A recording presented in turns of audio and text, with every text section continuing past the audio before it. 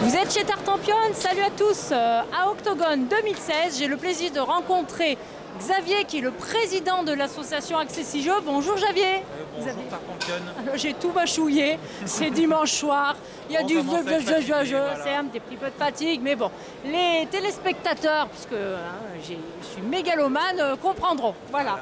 Euh, alors, explique-moi, quelle est ton association Accessi Jeux Alors, Accessi Jeux, c'est une association qui a pour objectif de rendre les jeux de société accessibles aux personnes déficientes visuelles, D'accord, malvoyantes et non-voyantes.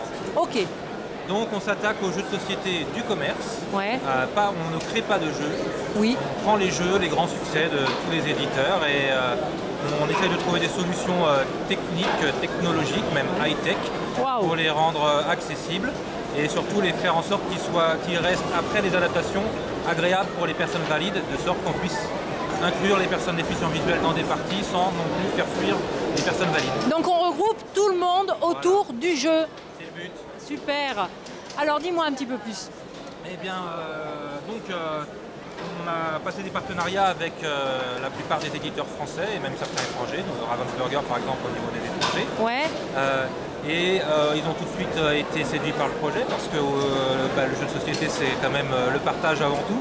ouais. Eux, ils étaient super contents qu'on puisse ouvrir éventuellement euh, à, à des personnes qui n'avaient pas accès au jeu jusque-là. Donc ils nous aident en nous, nous envoyant des boîtes. Ouais, Euh, nous on fait nos tests euh, de notre côté. ouais, On colle des stickers, on colle des aimants. on- Là, on travaille aussi sur le développement d'une application smartphone qui devrait permettre de transformer le texte des cartes en synthèse vocale. d'accord. Euh, et quand on a fini nos tests, on fait les tests de jouabilité parce que adapter un jeu, c'est pas juste le rendre tactile. Il faut vérifier que derrière, après un jeu qui dure un quart d'heure, finalement, va pas durer deux heures une fois qu'on devra Le aller temps, mettre les doigts ouais. sur les cartes, etc. Donc, si on se rend compte que ça fonctionne, euh, à ce moment-là, on devient comme n'importe quelle boutique euh, en ligne euh, traditionnelle. On achète nos jeux aux éditeurs, on adapte les jeux et on les revend à nos adhérents au même prix qu'un jeu qui ne serait pas adapté. Ah oui, donc Là où une boutique traditionnelle va faire sa marge pour vivre, quoi, Ouais. nous on utilise la marge pour mettre les adaptations. l'adaptation. D'accord, ok. Alors justement, tu parles d'adaptation. Tu peux peut-être me présenter, on a ici quelques exemples de ce que vous avez fait. Je vais me rapprocher un petit peu. Voilà. bon. Alors dis-moi, Alors. qu'est-ce que c'est l'adaptation d'un jeu Alors typiquement, donc on a le- la grande nouveauté que nous on a amenée qui n'existait pas. Il y a beaucoup de ludothé- ludothécaires qui s'attaquent à l'adaptation des jeux, mais pas forcément toujours avec le bon matériel. Nous on a créé une gamme de stickers sans relief en fait. Alors, je vais me permettre un petit peu de prendre la carte et de te couper pour voir si on peut. Voyez, là avec la brillance, on voit bien que en haut à droite, on voit un triangle qui se met en relief. Et en dessous, voyez, on les voit là, les stickers. Super, on les a vus. Et le poinçonnage. Alors maintenant, explique-moi ce que c'est. Alors le poinçonnage, ça permet déjà de savoir dans quel sens tenir sa carte. D'accord. Parce que bah, c'est bien beau d'avoir des, des- des repères, mais sur des- des cartes sur lesquelles il pourrait y avoir plusieurs informations, il pourrait y avoir des informations en haut, en bas, à gauche. Donc le trou, c'est toujours dans quel sens je lis ma carte. D'accord. Et aussi pour faire en sorte qu'on ne la montre pas aux personnes valides qui sont en face si on la tient à l'envers. Bien, Bon. tout est prévu. Donc là, je tiens la carte dans le bon sens. Je vais toucher le sticker, donc je vois que c'est un triangle.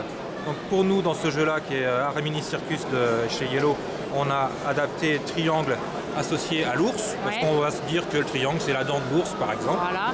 Et en, en dessous, je compte le nombre de points. 1, 2, 3. Donc je sais, sans voir la carte, qu'il y a trois ours représentés sur cette carte. Donc on a super. développé toute une gamme de stickers. Pour le moment, on a à peu près 8 motifs différents. Là, vous avez fait ça avec ce jeu Aramini Circus, mais euh, du coup, finalement, ça serait faisable avec plein d'autres jeux s'ils passent vos tests à vous. Voilà, c'est ça. Dès, dès lors, en fait, euh, on regarde beaucoup de vidéos sur Internet, euh, sur les différents sites euh, que vous connaissez tous euh, de bien. vidéos, de, de jeux de société. Et là, on se rend vite compte si, en fait, avec le matériel qu'on a, on va pouvoir adapter le jeu ou pas, en fait. D'accord.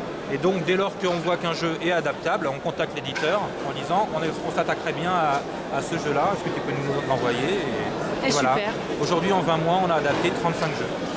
Bravo. Eh bien, écoute, euh, je pense qu'on peut du coup vous suivre euh, sur Internet. Il y a un site qui doit, accessijeux.com. voilà, sur Et- laquelle on peut vous suivre. Voilà, et une belle communauté sur Facebook aussi où tout le monde peut échanger parce que chacun a des méthodes différentes pour adapter les jeux et on s'enrichit beaucoup de, la communauté Facebook. Eh bien écoute Xavier, je te remercie pour cette petite interview. Euh, c'est moi qui me remercie, te remercie d'être déplacé sur mon petit stand. Eh bien de rien. Alors euh, fini bien Octogone, à bientôt et chers amis, je vous dis amusez-vous bien.